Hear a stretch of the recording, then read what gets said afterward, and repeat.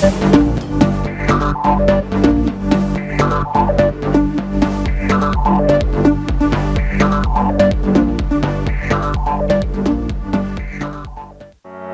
espacio es presentado por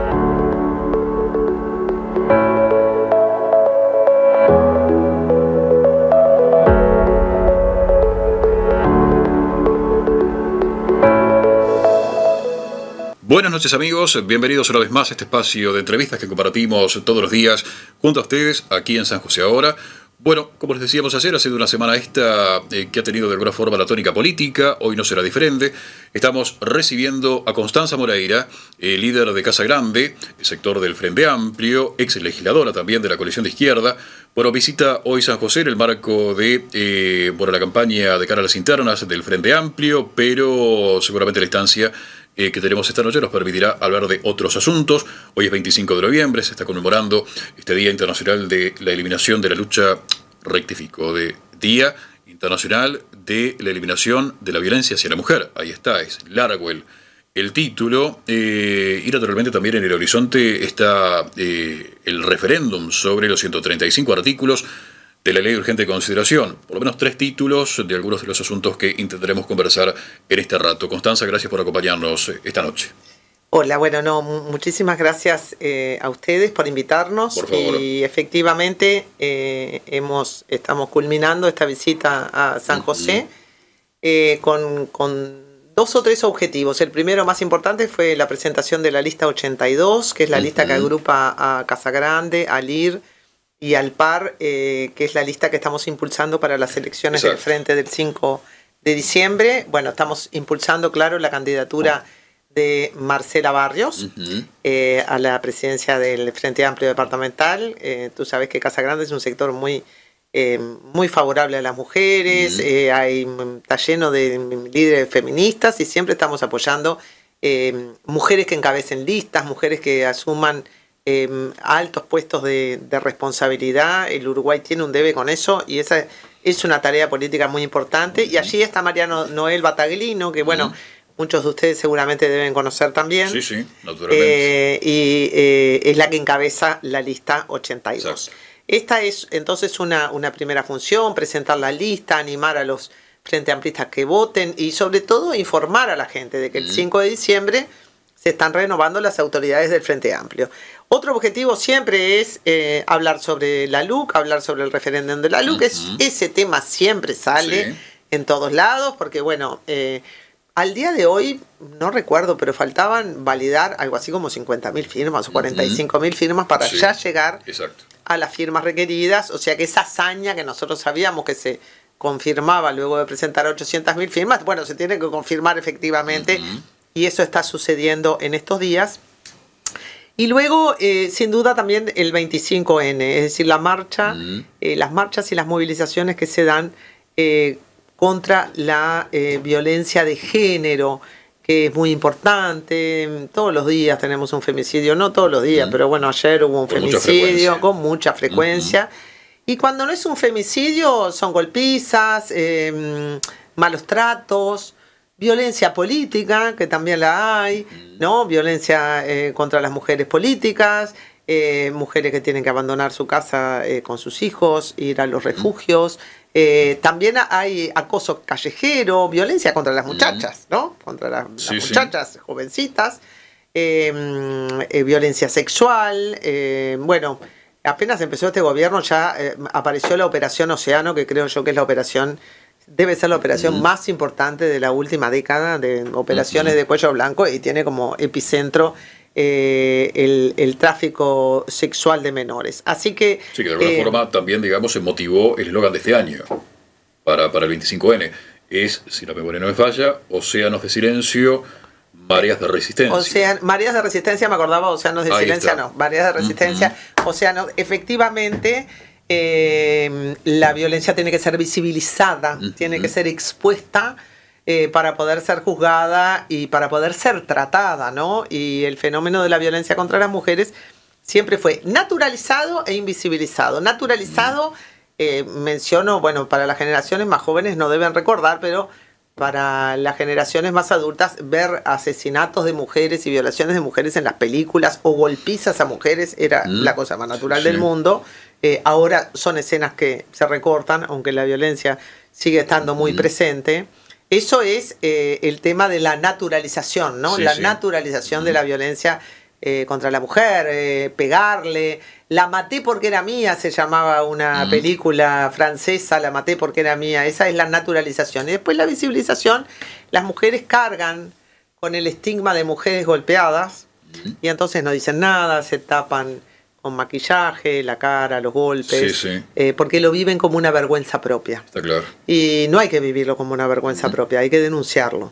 Eh, en estas últimas horas, una referente de la Secretaría de Equidad y Género de- del Plenario San José, del PITCNT, enumerando de alguna forma una serie de situaciones, la propia Operación Océano, algunas denuncias sobre cascos azules que en estos últimos días otra vez han escuchado, de violaciones en lugares a los que van en misión de paz, hablo de cascos azules uruguayos, eh, la situación a la que usted hacía referencia lateralmente, es lo que pasó en Soriano, con esta edila del Partido Nacional que fue filmada, el incremento de los femicidios este año con respecto al año anterior. Esta referente decía, eh, parece que estamos en el siglo XVIII. ¿Ha existido un retroceso tan marcado? Bueno, eh, no, no estamos en el siglo XVIII. Mm. Hemos avanzado, hemos avanzado en, en compromiso político, hemos avanzado en la conceptualización, no avanzamos tanto en los números. Mm. Por eso ni, ni le doy toda la razón ni se la saco. Está claro. Eh, yo, eh, la, la tasa de femicidios es muy alta, lo que pasa que, claro, antes no sabíamos, ¿no? Porque Claro. antes aparecía todo en una bolsa. Sí, sí. En América Latina, ahora los países tienen todos tipificados el femicidio. Y allá hay un observatorio de Naciones Unidas, que es el Observatorio de Género, que permite ver la tasa de femicidios y compararla con otros países, ver si aumenta o disminuye. Pero recién ahora lo tenemos tipificado. Entonces, eh, sobre la importancia del fenómeno, todavía no sabemos en relación a muchas décadas anteriores Sí, sí. eh, cuánto ha cambiado, Entiendo. pero ha cambiado la conceptualización. Y ha cambiado otra cosa que es muy importante, que es la lucha de las mujeres, las marchas del 8 de marzo, el movimiento eh, de las mujeres. Y que eso de feminista, yo sé que todavía hay rechazo, pero cada vez más hay más gente que se dice feminista, ¿no? Y antes uno decía, soy feminista y era como, ah, Sí. vos sos feminista, y es como, no, era uno, era este un, un- un bicho raro, una oveja negra, en fin. Y ahora, eh, bueno, eh, cada vez más mujeres se identifican con el feminismo. Se habla ahora de feminismos y de las olas Sí. del feminismo, ¿no? Eh, que es, eh, bueno, la primera, la ola política, la hora de la reivindicación por el sufragio, bueno, las Sí, sufragistas, sí, todas las películas que existen, ¿no? Este, luego la, la de los derechos sociales y finalmente esta tercera ola, eh, que es una ola eh, mucho más compleja porque también aparecen los temas de identidad de género, ¿no? Ta- Sí. También todo un reconocimiento allí a los temas de la diversidad que no están presentes en las olas anteriores. Eh, y la paridad como demanda política, ¿no? La paridad, la paridad. Antes era el sufragio, después fue la cuota, Sí. ¿no? Y ahora, Y ahora la la paridad. paridad. Y, y cuando uno incluso va viendo la evolución de esas, de las movilizaciones y la evolución de, de las proclamas por el Día de la Mujer, ahí va viendo los avances que se producen en el seno del corazón del propio movimiento eh, feminista, que con las, mar- la- las marchas, además del 8 de marzo, y ese es un buen ejemplo para el Uruguay, se unen al movimiento sindical y bueno, y es esa fuerza del feminismo con el movimiento sindical la que terminó armando lo de la LUC, porque uno no lo recuerda, piensa, ay, el Frente Amplio, no, no fue el Frente Sí, Amplio. Fue el movimiento sindical y fueron las feministas y FUCBAN, ¿no? Esos son como, eh, y la FEU. Sí, Eh, los movimientos, claro, los movimientos que impulsaron, luego el Frente Amplio se suma y ahí el feminismo eh, ha jugado un rol muy importante y, y está llamado a, a seguirlo jugando. El feminismo social, luego nosotros ese feminismo social lo queremos trasladar a la política. Hay un, un libro de Ana Laura Di Giorgi que se llama... Es un- eh, no recuerdo bien el título, pero dice, eh, eh, es sobre el feminismo y el Frente Amplio. Historia de un amor no correspondido. Entre el feminismo y el Frente Amplio, porque, bueno, vemos muchas feministas del Frente Amplio, pero la relación del feminismo con los partidos políticos Es difícil. Por eso estamos contentos en que en San José, eh, por lo menos a nivel político, tendría que estudiar cómo son los datos de, las brechas de género en San José, la, representación femenina está en alza, digamos, ¿no? Hay, hay, mujeres que están en altos cargos de, decisión política y eso es bueno, eso es bueno. Sí, sí, claramente en primera línea, Marcelo Barrios, y como tú decías, este también, este, eh, bueno, Marino El una figuración bien importante incluso en las últimas elecciones departamentales. Eh, quería consultar antes de pasar a los otros temas, y realmente desconozco en qué está, en qué quedó, no sé cómo este, plantearlo, el tema de los recursos para la ley de violencia basada en género, que seguía siendo un reclamo Mal, tremendamente mal. este, cuando a mí me, dicen, digo, sí, yo sé que Mónica Botero eh, tiene eh, un recorrido en, el apoyo a estas luchas y sé que Beatriz Argimón también fue de las eh, integrantes de la primera bancada femenina que aprobó las primeras leyes de violencia. ellas, ellas. Pero cuando uno mira el gobierno, los números son escalofriantes. Primero, porque el gobierno eh, fue muy duro con el MIDES. Y es en el MIDES donde está ahí mujeres, ¿no? El Instituto Nacional de las Mujeres está metido en el MIDES. Y las políticas sociales en general son para las mujeres, porque cuando uno da una tarjeta Uruguay Social, una canasta alimentaria, eh, bueno, se ha luchado para que quien reciba esos recursos sean las mujeres, ¿no? Entonces, uno mira al MIDES, que no solamente ha cambiado su, su, dirección, eh, sino que también como el MIDE fue un organismo nuevo y estaba lleno de contratos precarios que el Frente no supo eh, institucionalizar a tiempo, bueno, hubo eh, un montón de gente despedida, se recortaron los recursos, se hicieron unas auditorías eh, tremendas sobre el MIDE, que es un ministerio pobre, porque el ministerio de los pobres es el ministerio más pobre, ¿no? Yo siempre digo, el no es el ministerio de los pobres, pues es el ministerio social, pero es el ministerio más pobre de todos. El Mides es el... Entonces em, fue duramente atacado. Al mismo tiempo se dio manija en el periodo pasado con esta idea de que los pobres son pobres porque no quieren trabajar. Fue creciendo esta... Em, ¿Cómo le llaman? Aporofobia. Ahora hasta inventaron un término, ¿no? Del odio a los pobres qué es odio, qué es rechazo, qué... pero es esta idea de que los más vulnerables de una sociedad lo son porque quieren. Es como si a las mujeres nos pegaran porque nos gusta. es más o menos lo mismo, ¿no? Es transformar a la víctima en, em, en la responsable de su situación. Entonces, em, mientras em, el MIDES ha sido eh, tan atacado y sus recursos disminuidos, eh, uno no puede decir que las políticas eh, de género anden bien, porque están allí radicadas en el MIDES y, el MIDES ha sido de los ministerios eh, más combatidos. Yo no he visto a este gobierno sacarle un peso a las Fuerzas Armadas, que cuando recortó el gasto público a inicios del, cuando hizo el recorte del 15%, por un decreto que ya no me acuerdo el número, apenas iniciado el gobierno, recortó todo el gasto público, incluyendo salud, que se nos vino la pandemia, salud, educación, por supuesto, la universidad, el MIDES, y solo dejó a las Fuerzas Armadas. Solo dejó a las Fuerzas Armadas sin tocar. Entonces, primero eso, ¿no? Hay que hacer esta denuncia. De hecho, en, muchas mujeres de Casa Grande, como bueno, Mariela Mazzotti, que fue la, directora de Mujeres del periodo anterior a la cabeza, escribieron un artículo diciendo qué es lo que está pasando con las políticas del MIDES. Luego, para la ley de violencia de género, bueno, vino toda aquella andanada de que querían recortar la plata para los juzgados, que Beatriz Argimón reclamó y finalmente algo se consiguió, pero eh, la propia Suprema Corte de Justicia dijo, nosotros no tenemos plata para este para administrar la ley de mm. violencia de género. Hay que recordar que se aprobó casi a finales del periodo anterior. Entonces siempre la Suprema Corte de Justicia, en vez de ayudar, dice, ay, no tenemos recursos. Bueno, lo que tienen que hacer es que cuando presentan su presupuesto, eso tienen que priorizarlo, mm. ¿no? Eso tienen que priorizarlo. Entonces tampoco hay recursos para la implementación de la ley de violencia de género. Y después, cuando uno recorta el gasto público social, siempre está recortando el gasto de las mujeres y los pobres, porque la pobreza femenina eh, está aumentando en este país. En la medida que aumenta la pobreza, aumenta la pobreza femenina. Entonces, si vos me decís, sí, hay algunas eh, mujeres eh, bien intencionadas en el gobierno, pero el gobierno no está bien intencionado respecto de la reducción de la brecha de género. Solo hay dos ministras, solo hay dos ministras en este gabinete, dos en tres, de los números más bajos que hemos tenido en los últimos años, y la participación, la representación femenina en la Cámara de Diputados es de la más baja de los últimos 20 años. Así que yo diría eh, que no es un gobierno amigable con las mujeres, no es un gobierno amigable con las mujeres, ni comprometido, ni dispuesto a destinar recursos y políticas públicas eh, robustos en pro de las mujeres. Está claro. Y Constanza, voy a, a, las elecciones internas del Frente Amplio y un poco a la luz de este contexto que usted está describiendo, eh, de recortes, de políticas sociales que, eh, bueno, se han visto retraídas. Eh, ¿Por qué es importante la elección del 5 de diciembre y lo que eventualmente pueda surgir como conducción del Frente Amplio?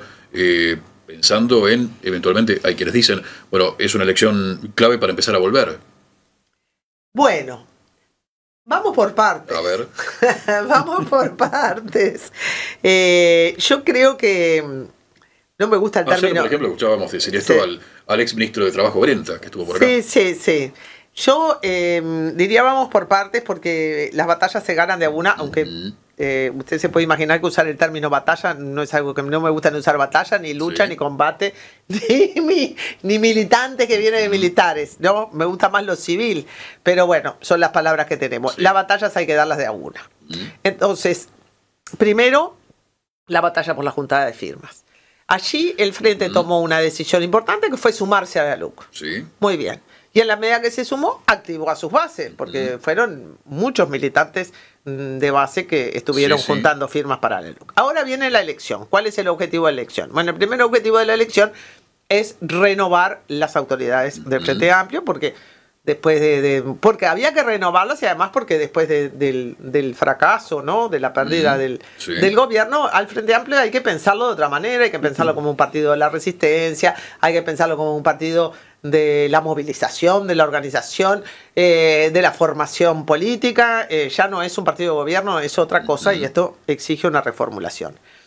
Yo hubiera preferido las elecciones del Frente pasarlas para después del referéndum, ¿no? Ajá. Ah, sí, la carreta delante de los bueyes no. Lo más importante era el referéndum para nosotros y yo hubiera priorizado eso. Pero bueno, soy disciplinada, el frente decidió ¿Cuál habría otra sido cosa. eventualmente y- el efecto, digamos, de haber postergado las elecciones internas para después? Y bueno, eh, un tema de, de- de economía de esfuerzos, ¿no? Ajá. De estar todos concentrados en esto. Mm. Eh, porque la batalla por el referéndum va a ser larga. Ya está siendo complicada para el gobierno. El gobierno ha pasado a la defensiva, ¿no? Eh, ha tenido que retrasar su agenda, la reforma de la seguridad social, etcétera, porque tiene que dar la batalla del referéndum. O sea que el frente ha emplazado al gobierno a una posición en la que el gobierno hubiera querido no encontrarse, porque el gobierno estaba tenía lo de la pandemia, ¿no? Eh, que era terrible, Sí. pero al mismo tiempo lo de la pandemia eh, le permitió gozar de mucha popularidad durante mucho tiempo, porque la gente decía, el problema de la crisis es la pandemia, el problema de la economía es la pandemia, Sí. entonces uno no culpa al gobierno Mm. si está la pandemia. Y al mismo tiempo tenía buenos índices de popularidad y bueno, eh, yo diría que al gobierno, salvo que ha destituido un ministro atrás del otro, al gobierno en, en ese sentido le iba bien. Entonces lo del referéndum le complica mucho la vida y yo hubiera preferido que nos concentráramos Sí, sí. en eso y en dar el gran debate público sobre la LUC, porque hay que explicarla a la LUC, ¿no? Sin duda, ah, sin bueno, duda.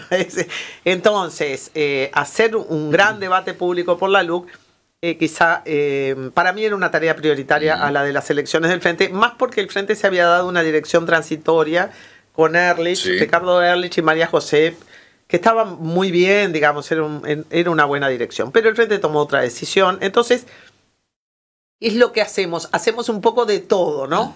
Como antes se le llamaba el hombre orquesta, Sí. hacemos un poco de todo. Hablamos de la LUC, hablamos del Frente y al mismo tiempo eh, reactivamos un poco la militancia que había quedado muy desmovilizada después del fracaso y la pandemia. Las dos cosas se juntaron para que mucha gente Sí, sí. se fuera para la claro. casa, como se dice acá, se fuera para la casa eh, o, o se desactivara. Entonces, la campaña sirve para eso, sirve para reactivar, sirve para hablar de la LUC, pero sirve para hablar de un montón de cosas, como esto que estamos hablando hoy, ¿no? Sí. De la violencia de género, del TLC con, Chile, con China, de, eh, de, de discutir los grandes temas del país, bueno, las discusiones sobre el medio ambiente. Eh, En ese sentido siempre es bueno, eh, siempre es buena esa movilización y reactivación de la gente y además como la pandemia, los números van cediendo, tenemos la posibilidad de hacer esto. Sí, estamos sí. haciendo, ¿no? Que antes era todo eh, computadora. Yo que doy clase en la universidad pienso la FEU, pobre FEU, ¿no?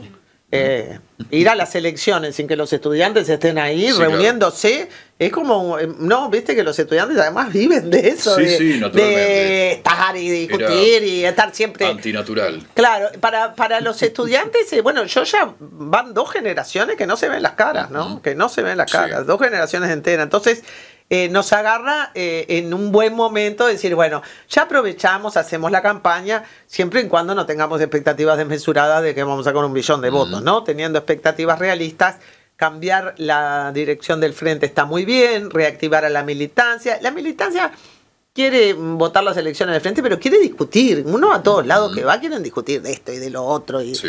este, no sé, te vas a Bichadero, te vas a ¿dónde estábamos?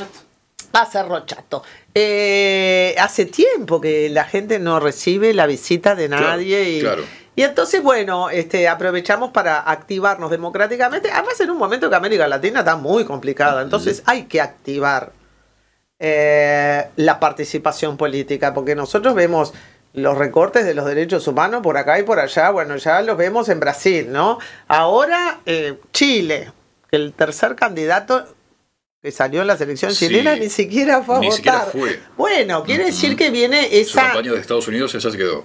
Exacto, esa, esa, esa antipolítica, que bueno, se está hablando ahora de la antipolítica, que es la reacción a los partidos. Yo digo, está muy bien, los partidos sirven para criticar, pero ¿qué quieren poner? ¿Empresarios y militares en política o religiosos en política? Ojo con la antipolítica, ¿no? Porque la antipolítica puede significar la vuelta de lo que para nosotros era prepolítico, que era la religión, las armas, ¿no? La religión me refiero a la iglesia católica, Sí, sí. las iglesias, ni la iglesia católica, las armas eh, y el empresariado. La política eh, vino después, el Uruguay eh, tuvo el privilegio de tener una clase política que era una clase media, la clase del vallismo, ¿no? Y el Frente Amplio representó eso.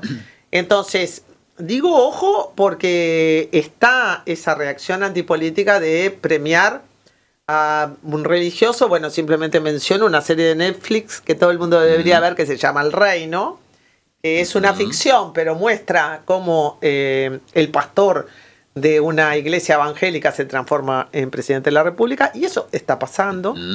Eh, o un militar como Bolsonaro, o un gran empresario como Piñera, ¿no? Después te- tenemos los problemas que tiene Piñera con los Panama Papers, porque, bueno, ¿no? Sí, sí. Eh, entonces, empresarios, militares y religiosos. Eh, esos factores están ahí en la puerta de entrada. Entonces, si la gente se vuelve muy dura con los partidos y los partidos bueno, terminan votando a cualquier outsider, como le llamamos Entiendo. nosotros. Por eso hay que reforzar a los partidos. Esta también es una motivación para que nosotros como Frente Amplio, que acá voy a ser un poco vanidosa eh, u orgullosa, el Frente Amplio, elecciones como las que hace el Frente Amplio, yo creo que los otros partidos no hacen ni la cuarta parte de lo que hacemos nosotros. Nos exponemos también, ¿no? Porque eh, sacamos 100.000 votos, sacamos 50.000, Sí, sí. nos exponemos, pero hacer elecciones abiertas y con las bases y con los plenarios, bueno, es una gran cosa. Quedan pocos partidos de izquierda, quedan pocos partidos de izquierda, no, quedan pocos partidos en el mundo con una vida política activa como la del Frente Amplio. El Frente Amplio es un orgullo a nivel internacional.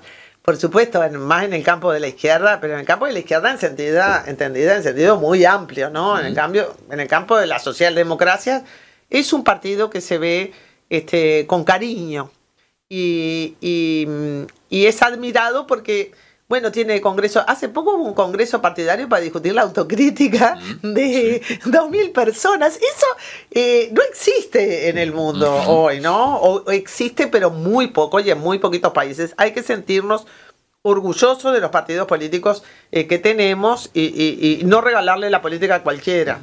Está claro. Eh, Una, sí. una breve interrupción. Introducimos a Walter Martínez, que es dirigente también de Casa Grande, a quien no saludamos en el comienzo, le pedimos disculpas, Gracias, gracias, amigo. este, le damos la bienvenida también. Eh, me- mencionabas una, una. A veces eh, yo la vida se cuela este, y sucede más allá de lo que uno quiere o Mm. piensa o espera. Este, y nosotros en- a- veces en la, en la discusión esa interna del Frente Amplio, en, la, en el pedido de autocrítica, etc., mm, perdemos de vista que vaya si nos autocriticamos y vaya si generamos debates.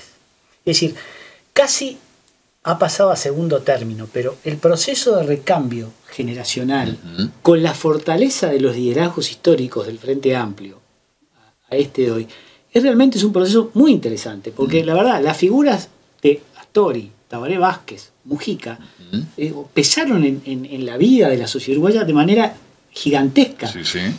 Y que, ese, que esa fuerza política esté transitando ese proceso de renovación de manera, no digo natural, pero sí este, efectiva, es, es, un, es, un, es, un, proceso de cambio efectivo. En el medio se dan debates interesantísimos, es decir, casi como ley fundamental del Frente Amplio, la palabra consenso era este, nuestra, nuestro buque insignia. Es decir, el consenso, si no es por consenso, no funciona. Sin embargo, hoy este proceso de, búsqueda de diversidad y de de, impacto de, mucha gente que participa de distintos lugares, está enriqueciendo la vida del frente. Es decir, yo creo que las propias candidaturas, es decir, que vienen de vertientes, una, como decíamos, bueno, y, la irrupción de la mujer como candidata a presidenta del frente.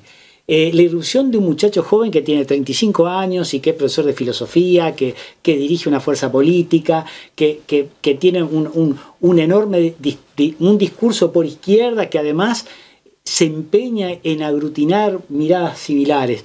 La irrupción de un dirigente sindical de primer orden como, como, es, este, como es Fernando Pereira. Es decir, han enriquecido claramente el, debate interno y la oferta electoral que, que el Frente hace. Entonces, digo, que todo eso, es decir, eh, como decir, el impulso móvil, a veces nos movemos más de lo que nosotros mismos pensamos que, nos movemos.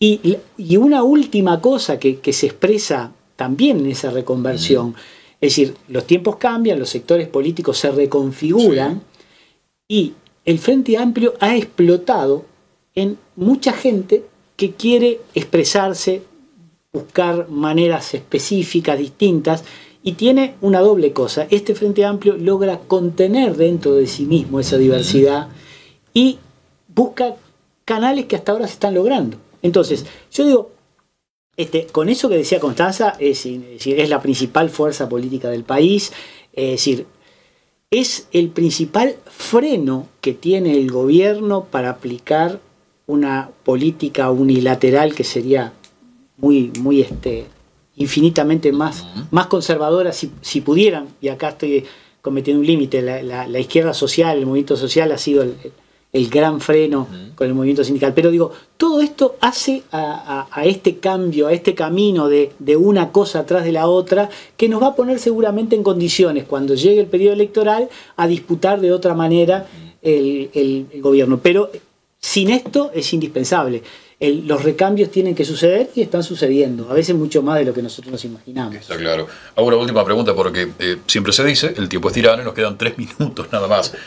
Ha sido muy interesante, pero hemos tirado sobre la mesa un montón de cuestiones.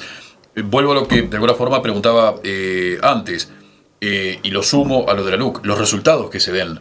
En todo caso, los resultados. La participación que tenga el Frente Amplio el 5 de diciembre, el resultado de la LUC, ¿qué tanto influyen? En las posibilidades del Frente Amplio en el 2024? Y bueno, se va construyendo escalón por escalón. Falta mucho para el 2024, mucho. Demasiado como para juzgar las chances del Frente Amplio con los resultados de este 5 de diciembre. Como politóloga te diría que el Frente Amplio tiene eh, algo así como 10 veces más votos que, que participantes en una elección. El Frente Amplio tiene un millón de votos y participan 100.000 con suerte en una elección interna. Entonces, Conspiro contra mí mismo ante la falta de tiempo y agregando algo. Eh, ¿Se pueden hacer, digamos, eh, sumado a esto, eh, alguna lectura de las elecciones, por ejemplo, del Codicen, lo que puede ser el BPS? Sí. Eso, este eso muchas gracias, muchas gracias por eso. Eh, porque no, no se hace esta lectura en general de que las elecciones del CODICEN, las propias elecciones, las elecciones del BPS, las elecciones universitarias, y mm, hay alguna por allí, em, de alguna manera, el sindicato médico y el sindicato médico, pero usted es mejor politólogo que yo. No, no, ¿eh? recuerdo para nada, por favor. Esas elecciones configuran lo que yo ahí sí le llamo la retomada del activismo social de izquierda. Es decir, eh, el movimiento social vuelve a recuperar posiciones. Claramente con el Codicen, ¿no? Claramente con el. Codicen vuelve a recuperar eh, posiciones con el sindicato médico, eh, con las elecciones universitarias. Es decir, no solamente no pierde, sino que, eh, como en el juego, ¿no? Eh, mm, aumenta a dos casilleros. Salte- Sí, salta, sí, Gana con en- cierta luz. Gana con cierta luz. Entonces, esa es la recomposición de lo que, bueno, creo que es Andrade que habla del bloque social de los cambios. Bueno, esa es la recomposición del bloque social de los cambios que se produce en épocas de resistencia. Eh, y luego eh, yo creo que la elección del referéndum, acá eh, lo más importante del Frente Amplio es que cambie sus autoridades y que renueve, que renueve, que entren otras personas, ¿viste? Que Mm. entren otras, que si yo me siento en el Congreso del Frente Amplio, no vean la mesa sentados siempre a los mismos. Sí. Eso es muy importante y es muy importante para la militancia de base, que vea que, que se mueve, que el abajo se mueve, ¿no? Que el abajo se mueve. Y de- luego, de cara al referéndum, si el Frente Amplio gana el fe- referéndum, el que va a pasar, el Frente Amplio, perdón, si se gana el referéndum, el que va a pasar un trago amargo es el gobierno. ¿No? Para el gobierno, eh, no es que lo liquida, pero al gobierno lo deja muy mal parado y le faltan años todavía, ¿no? Sí, sí. O sea que lo agarra en un momento espantoso, porque si vos tenés un referéndum el cuarto año o el tercer año, pero lo tenés al inicio del gobierno.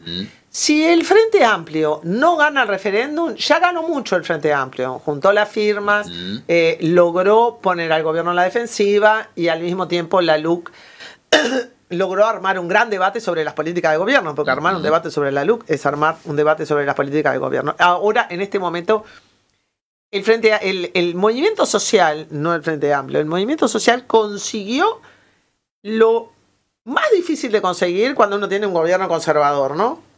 Y es arrinconarlo. Le dio un trabajo chino, ¿no? Como todo, tengo que juntar 800 mil firmas, le dio un laburo chino. Pero lo tiene arrinconado, lo tiene arrinconado. Eso que el gobierno tiene su super mayoría. Entonces, eh, vamos a ver cuanto más tiempo pase, obviamente, eh, para el gobierno peor. Es decir, porque eso que lo dije creo que en otra radio. Querés hacer las cosas cortas, querés ir por la vía corta y aprobar una ley en 45 días y resulta que te vas a pasar un año debatiéndola. Pensala mejor, ¿no? Porque la Entiendo. verdad.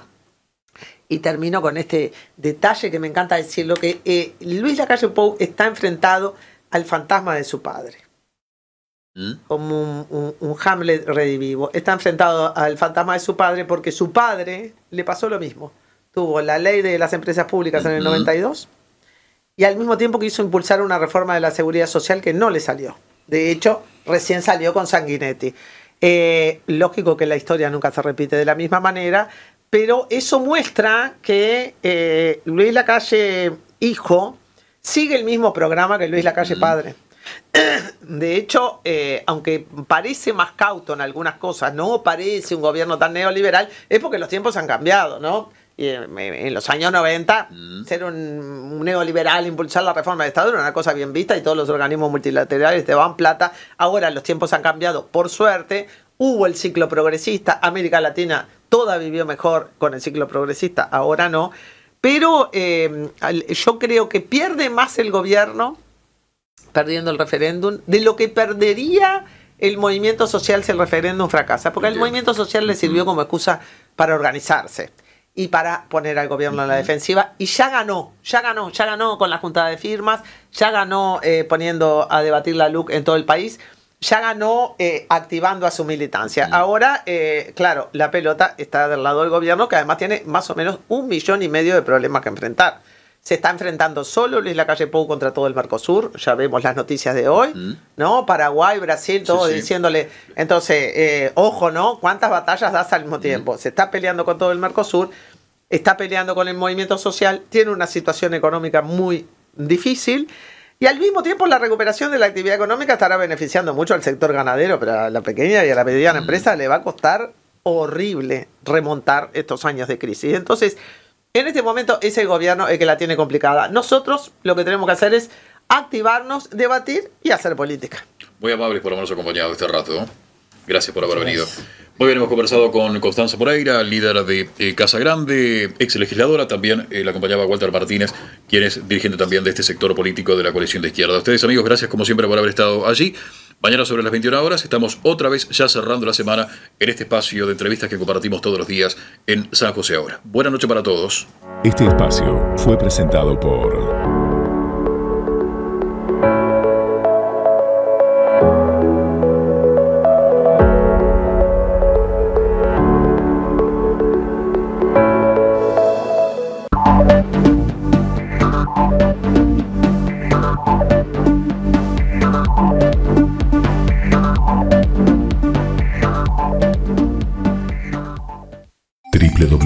www.sanjoseahora.com.uy